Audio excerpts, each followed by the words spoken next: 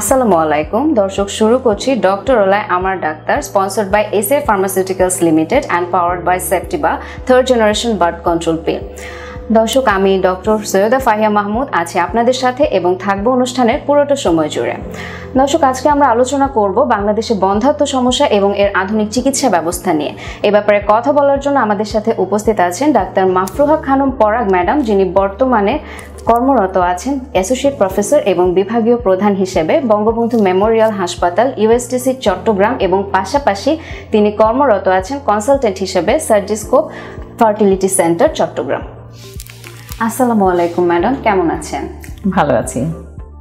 Madam আপনাকে অসংখ্য ধন্যবাদ আপনার ব্যস্ত সময় থেকে আমাদেরকে সময় দেওয়ার জন্য। তোমাকেও ধন্যবাদ। ধন্যবাদ এসিআই এবং ডক্টরওয়ালা ডট কমকে। অসংখ্য ধন্যবাদ ম্যাডাম। ম্যাডাম আজকে আমরা কথা বলব বাংলাদেশে বন্ধাত্ম সমস্যা এবং এর আধুনিক চিকিৎসা ব্যবস্থা নিয়ে। ম্যাডাম তার আগে আমি জানতে চাচ্ছি বন্ধাত্ম বলতে আমরা কি বুঝি? আসলে বন্ধত্বর একটা ডেফিনেশন আছে। বিশ্ব স্বাস্থ্য সংস্থা সংস্থার মতে কোনো সুস্থ স্বাভাবিক দম্পতি এক বছর যদি রেগুলার তারা সহবাস করে এবং নিজেরা একসাথে থাকে, তারপর এক বছর পরে দেখা গেল যে তাদের কোনো সন্তান উৎপাদনে তারা ব্যর্থ হলো। এটাকেই বলা হচ্ছে বন্ধত্ব। আর এই সময়টা যদি যদি দেখা যায় যে তার সময়কাল অথবা বয়সটা নর্মালের রেঞ্জের মধ্যে থাকে তাহলে আমরা এক বছর পর্যন্তই কাউন্ট করি। কিন্তু যার বয়স পঁয়ত্রিশ বছরের বেশি হয়ে গেছে যেই মহিলার তার ক্ষেত্রে আমরা ছয় মাস পর্যন্ত কাউন্ট করি। ছয় মাস যদি সন্তান না হয় তাই সেটাকে আমরা বন্ধত্ব বলছি। আচ্ছা ম্যাডাম। ম্যাডাম এই বন্ধাত্বে স্বামী এবং স্ত্রীর বয়সের সাথে কি ধরনের সম্পর্ক আছে? বেসিক্যালি স্বামীর বয়সের সাথে খুব বেশি রিলেশন নাই। তবে ওয়াইফের বা মেয়েদের বয়সের ক্ষেত্রে এটার অনেক গুরুত্ব আছে। যেমন বয়স যদি বেশি হয় একটা মেয়ে তিরিশের পর থেকে সে যা ডিম নিয়ে জন্মায় ডিমগুলো কমতে থাকে আসলে।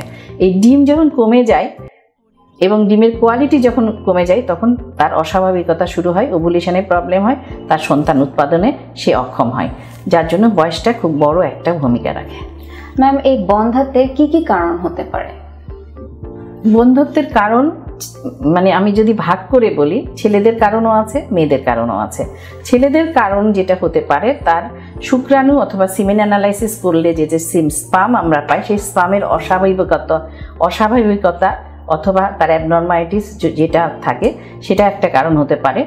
আর মেয়েদের ক্ষেত্রে তার ওভুলেশনের স্বাভাবিক ওভুলেশন হচ্ছে কিনা, অস্বাভাবিক ওভুলেশন অথবা ওভুলেশনে কোনো সমস্যা আছে, অথবা সেই মেয়েদের যদি কখনো দেখা যায় যে তাদের ঠিকমতো মাসিক হচ্ছে না, যেমন পলিসিস্টিক ওভারিয়ান ডিজিজ এন্ডোমেট্রোসিস তারপর ওর ইউটেরাসের মধ্যে কোনো সমস্যা আছে ফাইবয়েড ইউটেরাস অথবা মানে যেটাকে বলি আমরা জরায়ু, তার মধ্যে কোনো সমস্যা আছে, অথবা আনএক্সপ্লেইনড একটা কথা আছে আনএক্সপ্লেইন ইনফার্টিলিটি আর আরও এক সমস্যা হতে পারে, ওর হচ্ছে ডিম্ব নালী যেটা যেটা টিউব বলে। এই টিউবের মধ্যেও কোনো সমস্যা থাকলে টিউব ব্লক থাকলে অথবা হাইড্রোসালফিংস হলে এই ধরনের সমস্যা হলেও তাদের বন্ধুত্ব হতে পারে।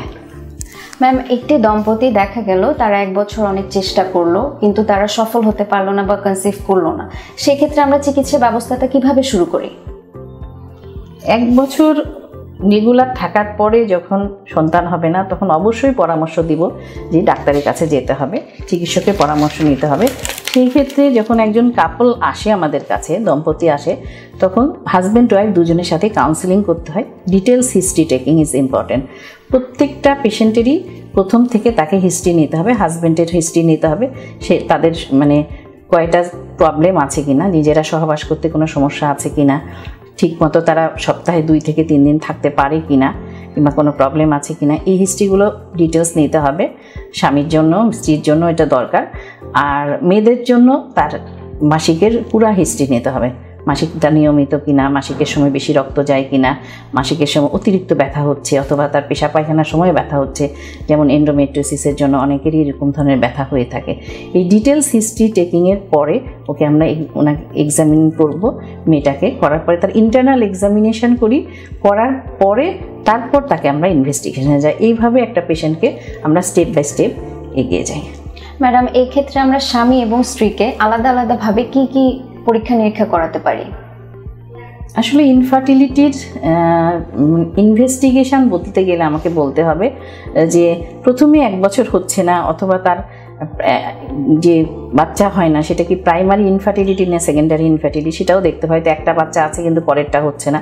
তো সবগুলো মিলিয়ে আমরা যখন ছেলে এবং মেয়ের জন্য আলাদা আলাদা ইনভেস্টিগেশন করাতে যাই, পুরুষের ক্ষেত্রে যেটা করি সিমেন অ্যানালাইসিস বিশ্ব স্বাস্থ্য সংস্থার মতে ডাব্লিউএইচও অ্যাকর্ডিং টু ডাব্লিউএইচও আমরা যখন দেখব যে স্পাম কাউন্ট ঠিক আছে, এখন নর্মাল স্পাম কাউন্ট কত বলব? ফিফটিন মিলিয়ন পার এম এর যদি বেশি হয়, তখন আমরা তাকে এটা স্পাম কাউন্ট ঠিক আছে বলছি। স্পাম মর্টেলিটি অথবা এটাকে বলে গতিশীলতা অব দ্য শুক্রাণু। শুক্রাণুর গতিশীলতা ঠিক আছে কিনা প্রোগ্রেসিভ মর্টেলিটি আছে কিনা, এটাও সাধারণত ফিফটি টু সিক্সটি পার্সেন্টের উপরে থাকতে হয়। তারপরে মরফোলজি অথবা গঠন, সেটাও দেখতে হয়। অনেক সময় দেখা যায় এগুলোতে সমস্যা থাকে। যেমন কখনো একদম থাকে না, অলিগোস্পার্মিয়া হতে পারে, অথবা অলিগো থাকে, অ্যাস্থেনোস্পার্মিয়া অথবা টেরাটোজোস্পার্মিয়া, একসাথে তিনটা প্রবলেমই থাকতে পারে। অনেক সময় দেখা যায় স্পাম অ্যাবসেন্ট মানে অ্যাজোস্পার্মিয়া, কোনো স্পামই নাই ওখানে। তো এই প্রবলেমগুলো আমরা এই সিমেন অ্যানালিসিসের মাধ্যমে, আর সিমেন অ্যানালিসিস যদি নর্মাল থাকে, তাহলে সেই পুরুষকে আর কোনো কিছু করার দরকার নেই। আর যদি তার সিভিয়ার অলিগো অ্যাস্থেনো টেরাটোজোস্পার্মিয়া অথবা তার আরও বেশি সমস্যা যদি থাকে, তখন আমরা হরমোন কিছু হরমোন অ্যানালাইসিস অথবা অনেক সময় আমরা ক্রোমোজোমাল স্টাডিও করে থাকি। আর মেয়েদের ক্ষেত্রে যেটা করা হয়, মেয়েদের চিকিৎসাটা একটু ব্যয়বহুল। সেটা হচ্ছে ওভুলেশন মানে তার ওভুলেশন হয় কিনা, এটা দেখতে হবে। তার মানে আমি যখন একটা পেশেন্ট ইনভেস্টিগেশনের কথা চিন্তা করি, তার হিস্ট্রির সাথে মিলিয়ে যখন দেখি যে এই পেশেন্টটা ঠিক মতো নিয়মিত মাসিক হচ্ছে না, তাকে আমার তার হয়তো অনেক বেশি মোটা পিসিওডি তো সেই ট্রিটমেন্টগুলো আমাকে করে যেতে হবে। এই ক্ষেত্রে যেটা আসে যে বেজলাইন স্ক্যান করি আমি একটা trans vaginal sonogram trans vaginal sonogram আমি সাধারণত দুই থেকে তিন দিনের দিনে করি। অনেক সময় হরমোন অ্যানালাইসিস করতে হয়, যেমন অনেক সময় এফএসএস এলএস রেশিওটা দেখি পিসিওডির জন্য। আর হরমোনের মধ্যে যেমন টিএসএস প্রোল্যাকটিন অনেক সময় মানে মেয়ের যদি বয়স বেশি হয়, সেই ক্ষেত্রে আমরা অ্যান্টিমোলারিয়ান হরমোন করে দেখি এএমএইচ যেটা সেটা করে দেখি। এছাড়া বললাম বেসলাইন স্ক্যানটা করি, অনেক সময় ফলিকুলার স্টাডি করার জন্য করি। এই ছাড়াও যেটা করা হয়, সেটা হচ্ছে টিউবাল প্যাটেন্সি টেস্ট অথবা হিস্টিরো সালফিনগোগ্রাম হিস্টিরো সালফিনগোগ্রাম করে দেখা হয় যে টিউবগুলো তার ঠিক আছে কিনা টিউব প্যাটেন্ট কিনা, এটি হিস্টিরো সালফিনগোগ্রামে বোঝা যায়। আর অনেক সময় দেখা যায় এন্ডোমেট্রিওসিসের জন্য অথবা তার অ্যাডিশনের জন্য অথবা টিউবাল ব্লকের জন্য অনেক সময় ল্যাপারোস্কোপিরও সাহায্য নিতে হতে পারে।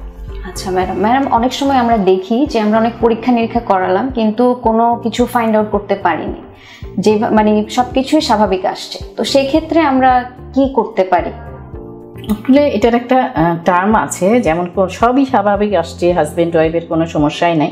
এটাকে আমরা বলি অজানা বন্ধত্ব অথবা আনএক্সপ্লেন ইনফার্টিলিটি আনএক্সপ্লেন ইনফার্টিলিটি আসলে কিছু কজ হয়তো ভিতরে থাকে যেটা আমরা বাইরে থেকে বুঝতে পারি না। যেমন নিষেক অথবা ফার্টিলাইজেশন হতে হবে। তো ফার্টিলাইজেশন হতে হলে কী করতে হবে? ডিমটা নিঃসরণ হইতে হবে। কোথা থেকে হতে হবে? ওভারি থেকে। ওভারি থেকে নিঃসরণ হচ্ছে কিন্তু টিউবের মতো ঠিক, টিউবের মধ্যে ঠিক মতো যে পৌঁছাতে পারছে না। অথবা টিউবে যে ওভার ডিমটা পৌঁছালো কিন্তু সেই জায়গায় শুক্রাণু এসে মিলিত হতে পারতেছে না, ফার্টিলাইজ হলো না। অথবা ফার্টিলাইজ হয়ে গেল কিন্তু সেই ট্রান্সফার হয়ে যখন এন্ডোমেট্রিয়ামে যাচ্ছে এন্ডোমেট্রিয়ামে যেয়ে সেটা বসতেছে না। এই যে এই ধরনের কোনো প্রবলেম যদি থাকে ভিতরে, এটাও অজানা বন্ধত্বের মধ্যেই পড়ে কিন্তু আমরা সেটা বাইরে থেকে ফাইন্ড আউট করতে পারছি না। আর এই ক্ষেত্রে আমি বলব যে যদি তার ওভুলেশনের প্রবলেম হয় বা এই ধরনের কোনো সমস্যা থাকে সেই ক্ষেত্রে আমরা অনেক সময় আইওআই মাধ্যমে আইওআই প্রসেস যেটা সেটা আনএক্সপ্লেন ইনফার্টিলিটিতে অনেক ভালো ট্রিটমেন্ট করা যায়। আইওআই মানে ইন্ট্রা ইউটেরাইন ইনসিমিনেশন আচ্ছা ম্যাডাম আইওআই সম্পর্কে যদি আমাদেরকে কিছু বলেন। আইইউআই আসলে একটা ইন্টারমিডিয়েট প্রসেস যেখানে মানে প্রসেস স্পাম স্পাম যেটা প্রসেসিং করার পরে at the time of ovulation একটা সুন্দর ক্যানুলার মাধ্যমে ফাইন সফস্টিকেটেড ক্যানুলার মাধ্যমে ইউটেরাসের মধ্যে একদম নিয়ার টু দ্য ফান্ডাসের কাছে আমরা যখন এই প্রসেস স্পামটা নিয়ে যে ডিপোজিট করব at the time of ovulation এই যে প্রসেসটা হয়, এটাকে বলা হয় ইন্ট্রা ইউটেরাইন ইনসিমিনেশন যাদের অনেকের আছে কয়েটাল প্রবলেম আছে, অথবা ওভুলেশন টাইমে থাকতে পারছে না নিজেরা, সে, সেই ক্ষেত্রে আইওআই ভালো, অথবা হাজব্যান্ডের ইম্পর্টেন্স আছে, সেই ক্ষেত্রেও আইওআই ভালো। অনেক সময় দেখা যায় যে আনএক্সপ্লেন ইনফার্টিলিটির ক্ষেত্রে আমরা করছি, তবে আইওআইয়ের সাকসেস রেট খুবই বেশি ভালো, এটা বলব না। Worldwide ten to twelve percent success rate madam, বাংলাদেশের প্রেক্ষাপটে আপনি কি মনে করছেন? বন্ধাত্ব বা ইনফার্টিলিটির হারটা কি বেড়ে চলেছে? আসলে ইনফার্টিলিটি আগেও ছিল, এখনও আছে। কিন্তু আমাদের তো এইভাবে কোনো ইদানিং আমাদের, আমরা যেহেতু ডাক্তারের কাছে সহজে যেতে পারছি, আমাদের অ্যাওয়ারনেস বেড়েছে, আমরা কজ বের করে আজকাল ইন্টারনেটের যুগ, সবাই নিজের কারণ দেখতে চাচ্ছে যে আমার কি কারণে আমার বাচ্চা হচ্ছে না। এটা আমরা বের করতে পারছি, যার জন্য আমাদের কাছে মনে হচ্ছে যে ইনফার্টিলিটি রোগটা অনেক বেড়ে গেছে, আগেও ছিল। তবে ইদানিং যেটা আমরা বলব যে ইনফার্টিলিটা বেড়েছে, আসলে কিছুটা বেড়েছে। যেমন আমরা খুব সচেতন হয়ে গেছি, মেয়েরা কেরিয়ার ডেভেলপ করে তারপরে বয়স হলে বিয়ে করব। তো বয়স হলে বিয়ে করলে যেটা বললাম, ডিমের কোয়ালিটি আগেও বলেছি, ডিমের কোয়ালিটি খারাপ হয়ে যায় কোয়ান্টিটিও চলে যায়। সেই ক্ষেত্রে মেয়েদের বয়স হয়ে গেলে সেটা একটা প্রবলেম হয়ে দাঁড়াচ্ছে যে সে বিয়েই করছে থার্টির পরে। কাজে তার ফার্টিলিটি লো হচ্ছে। সেটা একটা প্রবলেম যার জন্য আমাদের বন্ধত্বটা বেশি হয়ে গেছে। ম্যাম আমরা এখনও দেখছি যে আমাদের দেশে অনেক কাপল আছে যারা চিকিৎসার জন্য দেশের বাইরে চলে যাচ্ছে। তারা ইভেন এমনকি জানেও না যে আমাদের দেশের চিকিৎসা ব্যবস্থা আছে ইনফার্টিলিটি তাদের সম্পর্কে ম্যাডাম যদি কিছু একটা বলেন। আসলে বন্ধত্ব রোগটা একটা অভিশাপ হিসাবে মানে দম্পতিরা মনে করে। বাংলাদেশে একটা সামাজিক সমস্যা নট অনলি বাংলাদেশ, পুরা ওয়ার্ল্ডেই এরকম। তো আমি বলব যে আমাদের অ্যাওয়ারনেস বাড়াতে হবে, আমাদের জানতে হবে। হয়তো আমরা জানি যে কারণটাই জানি না। কারণ দেখে চিকিৎসা হলে অনেক দম্পতিরই নর্মালি চিকিৎসা করলে হয়ে যাবে। অনেক আধুনিক পদ্ধতিতে না যেও নর্মালি কতগুলো ওভুলেশন ইন্ডাকশান দিয়ে অথবা আইউআই করেও তার বাচ্চা হবে, কিন্তু তারা জানে না যে কখন, কোন সময়ে ডাক্তারের কাছে যেতে হবে, কখন চিকিৎসা করতে হবে। এই অ্যাওয়ারনেস যদি আসে, তাহলে এবং আমরা যদি জানি যে আমাদের দেশের মধ্যেই ভালো চিকিৎসা হচ্ছে। ঠিক আছে যে আমাদের সেন্টারগুলো করেছে, কোথায় গেলে সিমেন অ্যানালাইসিস ভালো হবে, কোথায় গেলে আইউআই করা যাবে, কোথায় গেলে আইভিএফ অথবা ইনভাইট্রো ফার্টিলাইজেশন অথবা টেস্ট টিউব বেবি অথবা ইন্টারসাইটোপ্লাজমিক স্পাম ইনজেকশন আছে। অনেকে ভাবছে যে তার স্পাম নাই, সে আর বাবা হতে পারবে না। কিন্তু তার যদি একটা স্পামও থাকে ভিতরে টেস্টিসে আমরা যদি ইক্সি করে নিই ইন্টারসাইটোপ্লাজমিক স্পাম ইনজেকশনের মাধ্যমে, তখন এইটাকে, তাকে কিন্তু বাবার স্বাদ মানে সে সন্তানের সন্তান লাভ করতে পারে। এটা তো অনেক বড় একটা পাওয়া। সো সে জানে না দেখে কিন্তু দেশের বাইরে চলে যাচ্ছে। এটা যদি আমরা ঠিকমতো জানাতে পারি আমরা ডাক্তাররা যদি সচেতন হই আমরা সবাইকে যদি বলতে পারি আমরাও আপনারাও সবাই মিলে আমরা যদি না এটা কোনো সমস্যা না বন্ধত্ব রোগের চিকিৎসা আছে। এইটা হলে আমাদের মনে হয় আমার আমার কাছে মনে হয় বিদেশে যাওয়াটা কিছুটা হলেও বন্ধ হবে। আচ্ছা ম্যাম আমরা জানি আপনি সার্জিস্কো ফার্টিলিটি সেন্টারে কনসালটেন্ট হিসেবে আছেন। ম্যাডাম আমাদের এখানে বন্ধাত্বের বা ইনফার্টিলিটির কি কি আধুনিক চিকিৎসাগুলো দেওয়া হয়ে থাকে? আসলে আমরা চিটাগাংয়ে first test tube baby centre সার্জিস্কো fertility centre আমরা প্রতিষ্ঠা করেছি। এটা হচ্ছে দুই হাজার তেরো সালে প্রতিষ্ঠা হয়েছে, কিন্তু তার তিন চার বছর আগে থেকে কাজ শুরু হয়েছে। আমরা তেরোতে শুরু করলাম ফার্স্ট টেস্ট টিউব বেবি হয়েছে দুই হাজার চোদ্দোতে। যেটা চোদ্দোর এপ্রিলে, তিরিশে এপ্রিল হয়েছে। ফার্স্ট বেবির নাম হচ্ছে অর্ণব। ওর পাঁচ, ছয় বছর বয়স হয়ে গেছে আমাদের। আর আমরা সার্জিস্কু ফার্টিলিটি সেন্টারে আমি এবং প্রফেসর রোকিয়া বেগম, ম্যাডাম, আমরা দুজনেই আছি কনসালটেন্ট হিসাবে। আমরা প্রত্যেক মাসে এখানে আইওআই করছি। প্রায় একশোর উপরে আইওআই হয় আমাদের প্রত্যেক মাসেই। এবং বছরেও আমরা বেশ কিছু একশোর উপরে প্রায় আই আইভিএফ করেছি। অনেক সফল আইভিএফ বেবি আছে। আর এছাড়া করা হচ্ছে ইক্সি। তারপর ইমব্রিও ট্রান্সফার করার আগে ফ্রোজেন ইমব্রিও রাখছি। আর যত মানে একটা ইনফার্টিলিটি সেন্টারে যতগুলো ব্যবস্থা আছে ট্রান্সভার্জানাল সোনোগ্রাম হিস্টোরোসালফিন প্রোগ্রাম একই সাথে হসপিটাল আছে যেহেতু ল্যাপারোস্কোপিও হচ্ছে, সব মিলে একটা ছাতার নিচেই সবগুলো ব্যবস্থাপনা একসাথে আছে, যেখানে মানুষ আসলে একসাথে মানে সেবাটা পাচ্ছে। এটা হচ্ছে ইনফার্টিলিটি সার্জিস্কো ফার্টিলিটি সেন্টার আচ্ছা ম্যাডাম এখন ওখানে তো সব ধরনের চিকিৎসাগুলো পাচ্ছে জনগণ। কিন্তু ম্যাডাম এখানে খরচ নিয়ে যদি একটু বলেন। আসলে খরচের ব্যাপারটা যেটা A R T assisted reproductive technology যেটাকে আইভিএফ আমরা যেটার মধ্যে আছে অথবা ইক্সি যেটাকে বলে ইন্টারসাইটোপ্লাজমিক স্পার্ম ইনজেকশন অথবা আইভিএফ এটা আসলে ব্যয়বহু মানে খরচটা বেশি, অনেক খরচ বেশি। কিন্তু তার আগে আইওআই অথবা অন্য প্রসেসে গেলে কিন্তু খরচটা কম আছে। কিন্তু বেশি হলেও আমাদের যেটা এম থাকে যে আমরা অনেক কমের মধ্যে চিকিৎসাটা যেন তারা করতে পারে। গরিব রুগীদের জন্য আলাদা ব্যবস্থা আছে। অথবা যারা যতটুকুই পারুক ইঞ্জেকশনের দামটা কোনো রকম জোগাড় করল, আমরা এটাকে ওইভাবে ব্যবসায়ীভাবে নিচ্ছি না এবং চাচ্ছি যে মানুষের কিছু উপকার হোক। যার জন্য আমরা এই এই সেন্সে আমরা এগিয়ে যাচ্ছি। এইভাবে আমাদের সফলতা তো আসছে এবং খরচটা আমাদের মানুষের মানে ইয়ের মধ্যেই আছে সীমার মধ্যেই থাকছে যে তারা পারবে খরচ বহন করতে। কারণ বিদেশে গেলে তো অনেক খরচ হচ্ছে এখানেই তারা করতে পারে। এই মানে চিটাগাং যেহেতু ঢাকার বাইরে, অনেকেই জানে না যে চিটাগাংয়েও একটা সেন্টার আছে, যেখানে আমরা আইভিএফ করতে পারি এবং সাবস্টিফিকেটেড সব রকমের মানে চিকিৎসা ব্যবস্থায় আছে আমাদের এখানে।